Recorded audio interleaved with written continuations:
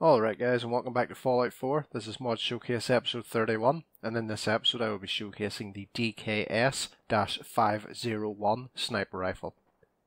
The mod author for this mod is LT underscore commander and this will add the iconic sniper rifle from Fallout 1, Fallout 2 and Fallout 3. It will be added to the leveled lists for vendors, raiders and gunners and it will show up around level 25. However, he has added a unique variant of the sniper rifle. It is the Gobi Campaign Scout Rifle from Fallout New Vegas, and it can be found in a master lock chest in a small house outside Natick Banks. So guys, let's go see the small house and find the chest. Guys, this here will be the house you're looking for, and inside it you will be able to find the chest. Okay, this here will be the Gobi Campaign Scout, uh, Scout Rifle. Looks pretty cool. You will also get military fatigues and off to Vegas. Which we can't actually read, we have to take it first. Okay guys, so that's a unique chest which gives some uh, insight as to why the Gobi campaign scout rifle is in the Commonwealth. But I saw a Deathclaw up the hills there that I want to go and test this weapon against. Bloody hell, it looks huge. Okay, right, he's actually quite highly leveled. I have not thought this one through at all. Oh shit, right. Uh, I'll probably die here, so... Oh shit, the bed, right. Where'd you go? Fuck, fuck, fuck, fuck, fuck. This isn't gonna be good. Yep.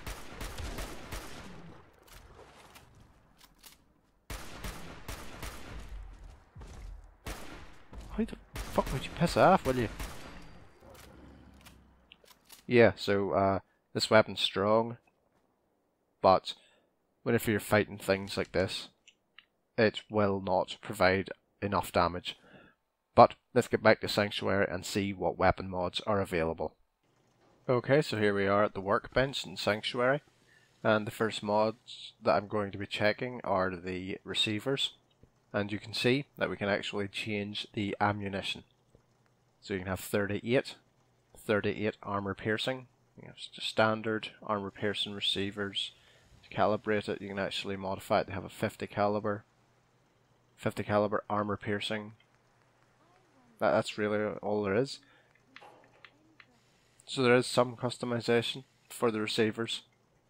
However, the damage output isn't exactly the highest. There are there will be other mods that provide stronger weapons.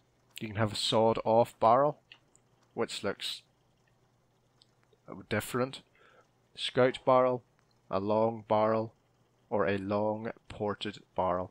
Have a makeshift stock, a wooden stock, marksman, or a recoil compensating. Different magazines from small, medium, and large different scope. You can have makeshift glow sights, uh, makeshift reflex sights, dot sights, recon scopes, basic scopes for the sniper rifle. You can add different muzzles. You can take off the muzzle, add a bayonet, compensator, muzzle brake or suppressor. And you can have different colors for the weapon. Standard and ballistic fiber weave and that reduces the weight of the, the weapon. So we can see that the mod actually has uh, a good level of customization. We have already killed one Deathclaw and found that this weapon would not be matched for taking out targets of that level and strength, but let's go see how it performs against some raiders. Okay, so we've come to Thicket Excavations. See how this weapon will perform against raiders. It's incredibly powerful, I'll give it that, and it does take them out in one hit. Of course, that guy, we were not in a snake mode, so we weren't getting any form of multiplier. However, the higher the level of Raider, the less damage you are doing to them, so you may need more than one shot. And for a waster, you know, three shots just isn't good enough, really. Bloody hell, my accuracy is fucking shocking. This is unbelievable. I, I don't know what the hell's going on with me today. So he was shooting at me, yet he still didn't know where I was.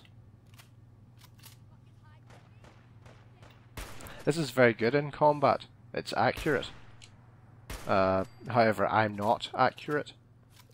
It's actually, you know, I always used the Gobi campaign scout rifle in Fallout New Vegas and I liked it a lot. And seeing it back in Fallout 4 is quite nice. The hip fire accuracy is incredibly good. That's going to be incredibly useful for whenever a target gets too close to you. And the range potential is incredibly good, so for the later levels, this weapon will outperform the hunting rifle. However, it does not outperform some of the sniper rifles that I have used before, such as the Barrett 50 caliber. So if you are wanting to use more of a challenging weapon, you know, in terms of you don't want the weapon doing 700 damage, you may just want to add the 50 caliber receiver to this weapon. Bloody right, my accuracy is shocking today. No, just stand still. Don't worry, you'll probably still survive. No need to run. This weapon is actually really enjoyable to use. I don't usually use sniper rifles, and whenever you hit the boy in the head, it's usually taking them down in one or two shots. And with the accuracy, that is quite an easy thing to do. Uh, however, in saying that, I'm not finding it that easy. For some reason this boy's level 14. And I missed. Again. Fucking hell. This is unreal. That was a legendary raider and one shot to the head. Uh, he transformed. Or whatever they call it.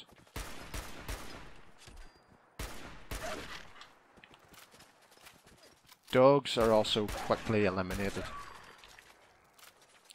And that is just, that's fucking disgusting. Oh my god. I hate having to shoot dogs in this game, but oh, it's fucking.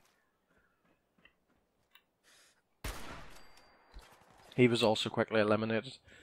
The range potential and the or the the long range and close range potential of this weapon are somewhat unmatched by the uh, hunting rifle.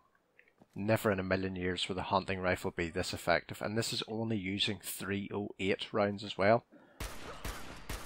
So if you do have a, lack of 50 caliber rounds, you can actually still use this weapon and be quite effective. However, I would probably say it'd be much better with uh, 50 caliber ammunition. She is one of the luckiest people alive. She's standing still and I still can't fucking hit her. Unbelievable. Mm, here's the last guy. Incredibly easy weapon to use, however I struggled. Alright guys, this was the DKS 501 sniper rifle mod for Fallout 4. I would highly recommend you download it as it adds a very unique looking sniper rifle. One that has been in the Fallout universe before. It's enjoyable to use and it's very very effective. But guys, thank you so much for watching. I hope you have enjoyed, and I will see you in the next one. Goodbye.